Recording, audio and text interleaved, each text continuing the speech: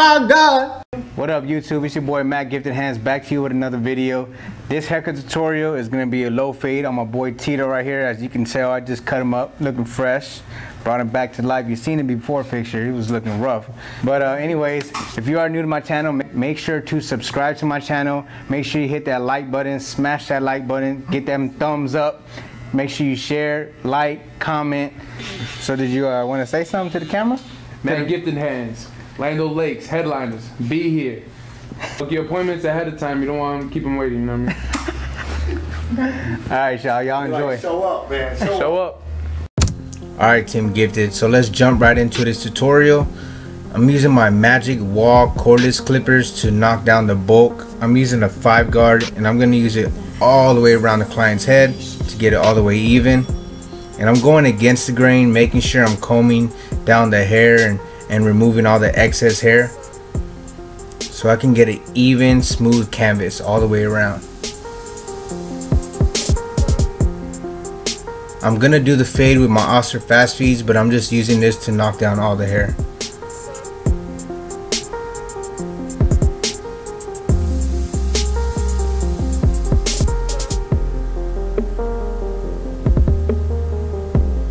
And again, this is a number 5 guard all the way around.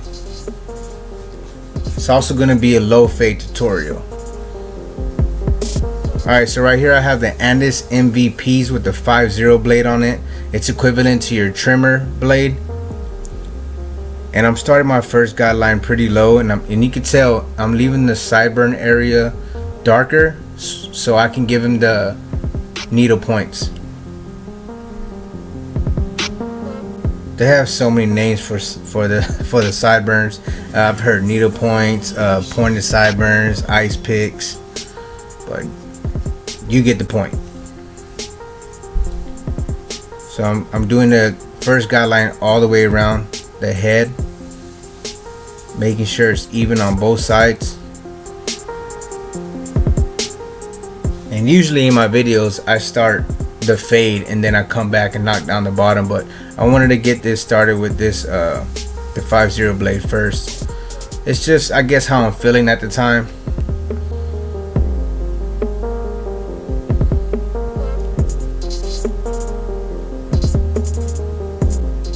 And just to let y'all know anything that I use in my videos is in the description below. Y'all can check out the links.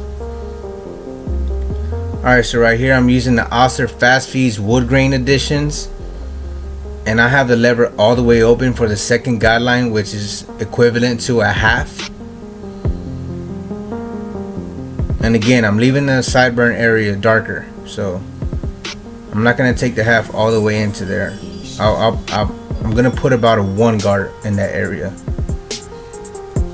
Alright, so right here I just put the lever into the middle and then I close it to knock off that half guideline.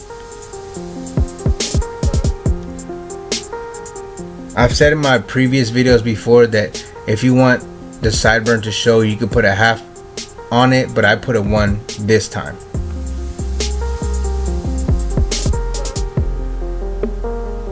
But a half is just as good.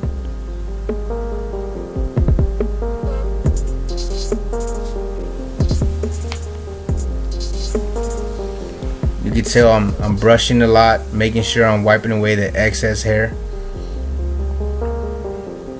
Want to see what you're doing.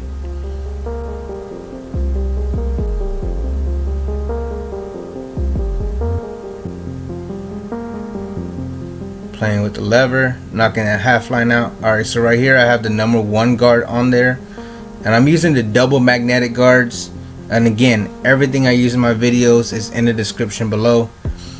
So I started with the lever open and then I'm gonna put it in the middle and then close it.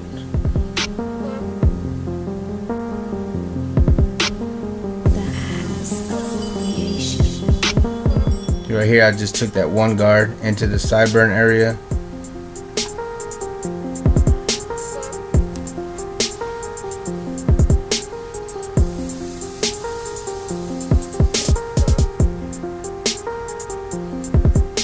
Alright, so right here I have the two guard on there.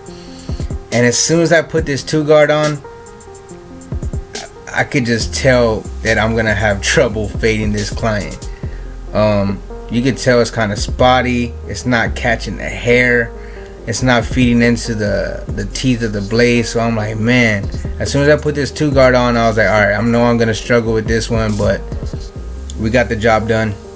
Right here, this is a number three guard with the lever open, and then I put it in the middle and then close it.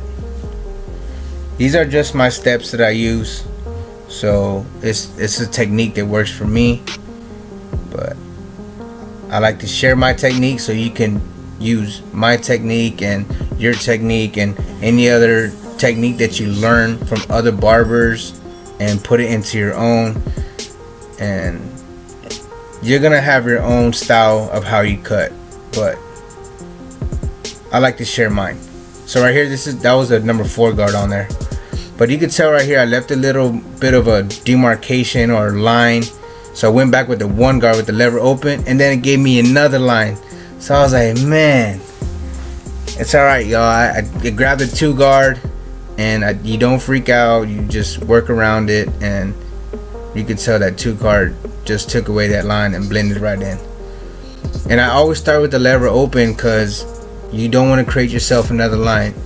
Even though I did, I had the lever open, but like I said, y'all, I had trouble fading this client, but we got it done.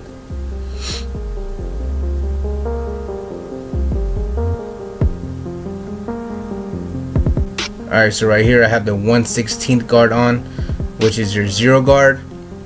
And this is what's going to bring the fade together. I'm using the corners of the guard and working those dark spots, also stretching the skin with the opposite hand so I could get in between the, the dents that he has in his head. And you can see that blend's coming together.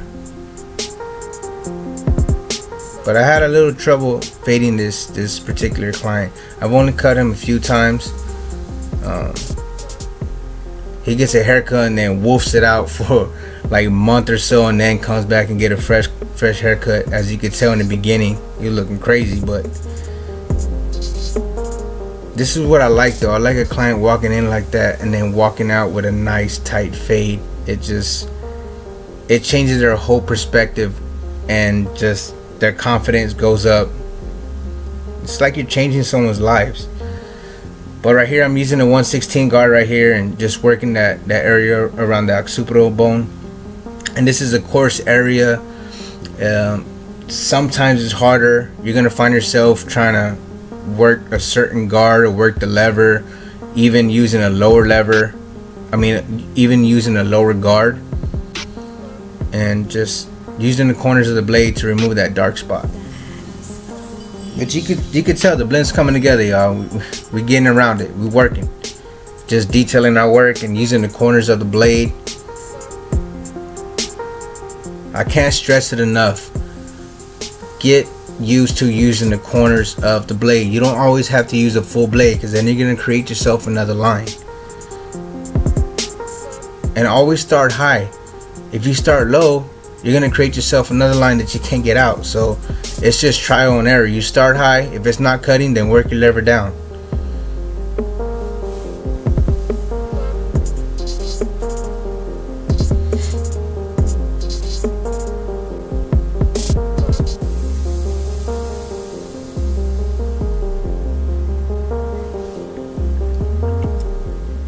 Some detail work guys. Using the corners of my blade. Right here I have no guard on it. It's a lever open and I just play with the lever.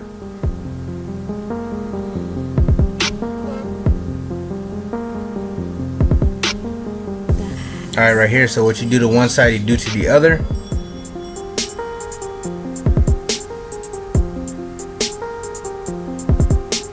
And I don't know if you noticed but this beat that I have on this video, this tutorial is straight fire, y'all. So make sure you go down in the description. If you like this beat, make sure you go check out that link. I have it in, in the description below. Uh, one of my clients hooked me up with some nice beats. So make sure y'all go show some love. Check out his check out his beats. Check out the, the link in the description.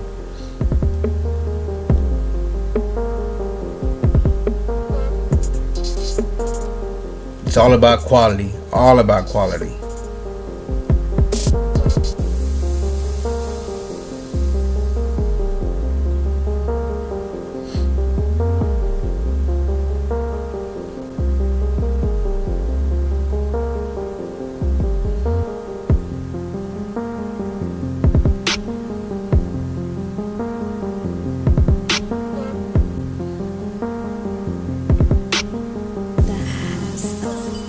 Shout out to my client for hooking me up with these clean beats. They're, I mean, it's some great quality on these on this uh, these instrumentals.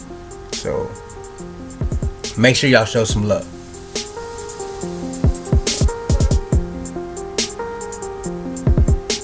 And I'm doing the same steps as I did on the other side. I'm just used to doing the 50-50 fade, meaning I do one side and then do the other. I learned this in barber school, and it, this is just something that works for me. And I get a I get comments saying, "Well, how do you know that the fade matches on both sides?" I've been doing this for a while, so um, I know where my guidelines need to be, and I use references like the corner of the eyebrow or um, right above the ear. It's just different references that I use, and I lock in my head, and I just I just do the fade.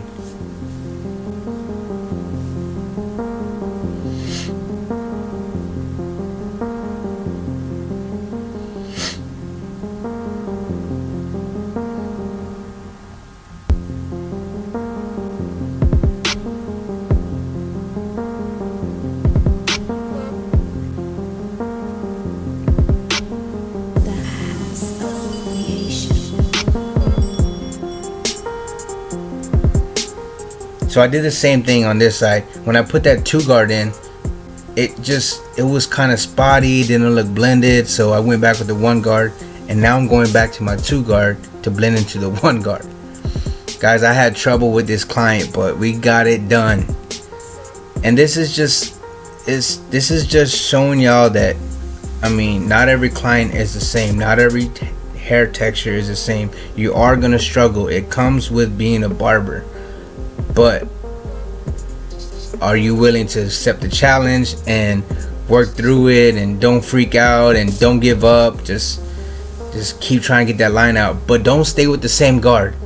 If it's not cutting, change the guard or lower the lever. You don't want to burn a hole in the side of your client's head because you're trying to get out of line that you can't. But I mean, it's all trial and error the hair is not feeding into the teeth, then work, move the lever lower.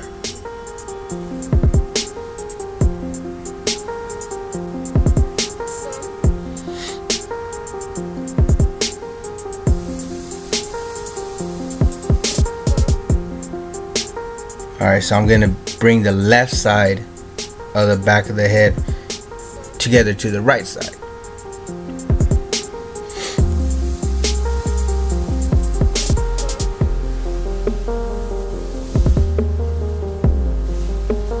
And even though this is a low fade, y'all, give yourself room to blend. Don't be scared to give your guidelines about an inch or half an inch. You want to give yourself room to blend. You want to spread the blend. You're not necessarily raising the fade. You're just making sure that you're having room to fade in between those guidelines and it looks like the fade is spread, is blended, right? If you try to fit a blend in a small area, it's gonna look like a bowl cut. It's not gonna look faded.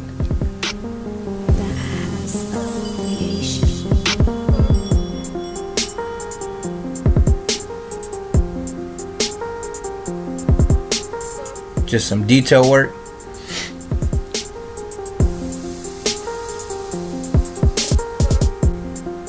Alright, right here I spray some spritz and I blow dried it and brushed down that way the hair stays in place and we're gonna start edging them up. And I'm using my Andis GTX-T outliners. They are modified as you can see right here.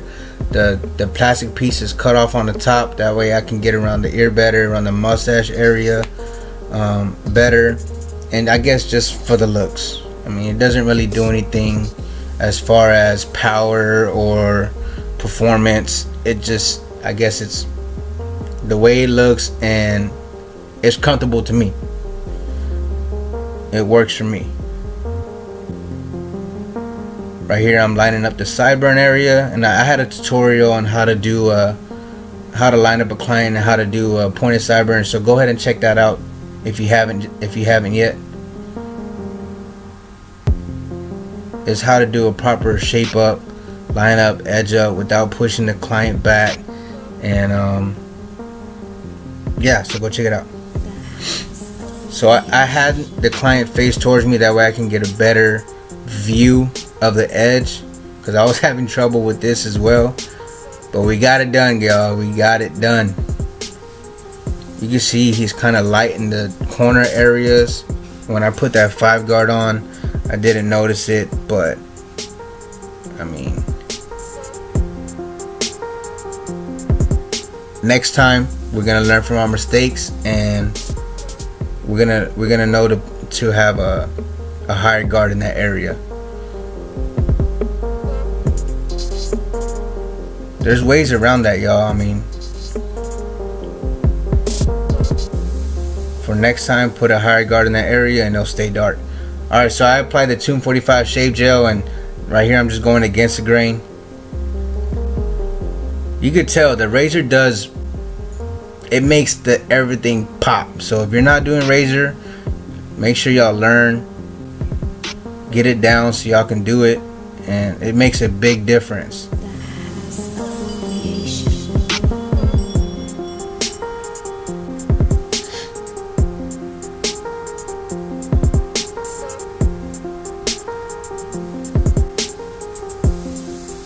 Make sure to wipe away the excess hair, excess gel. Alright, right here I'm just applying some hair cream. And you're gonna see in the in the final product, that corner is gonna be dark because I applied some hair fibers, but here it is, here's the finished product. It's a low bald fade without the shaver. Y'all stay gifted.